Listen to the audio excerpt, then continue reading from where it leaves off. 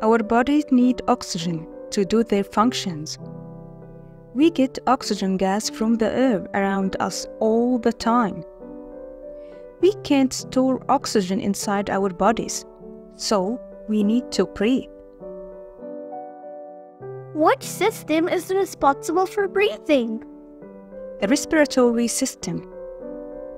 It supplies the body with oxygen gas and gets rid of carbon dioxide through the respiration process. What is the respiration process? It's a process of pulling air in, that's mean inhalation, and pushing air out of the body, that's mean exhalation. The respiratory system consists of a group of organs that work together.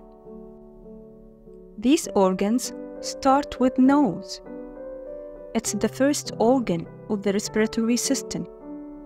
The air enters the body through the nose and mouth and down to the throat.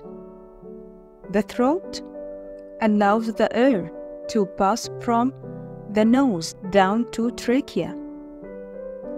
Trachea is a tube that allows the air to pass into the lungs, which fill up with the air like balloons. Inside the lungs, the trachea is branched into two tubes, known as two bronchi.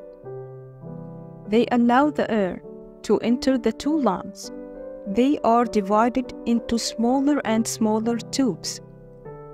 Look like the branches of a tree, known as bronchioles. The bronchioles end with little air sacs surrounded by blood vessels, known as alveoli. Inside the blood vessels, oxygen moves into the blood, which carries the oxygen around the body to help other organs and systems to work. Diaphragm It's a large muscle at the base of ribs. It plays an important role in inhalation and exhalation.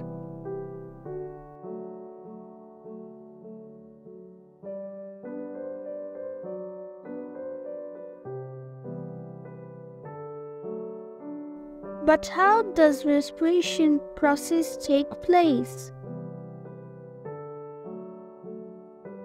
The respiration process includes inhalation and exhalation.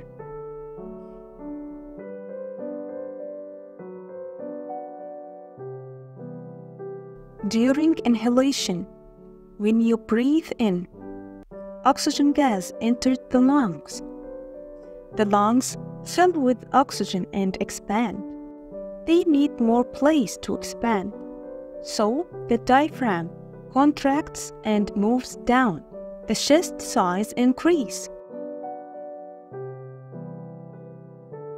During exhalation, when you breathe the air out, the carbon dioxide gas is expelled out the lungs, so the diaphragm relaxes and moves upward. The chest size decreases. Now can you tell me, how does the respiration process take place? When you breathe in, the oxygen gas enters the lungs. Then the diaphragm contracts and moves downwards.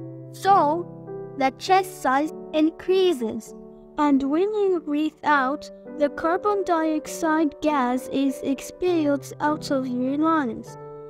The diaphragm relaxes and moves upward, so the chest size decreases. See you next time. Thank you.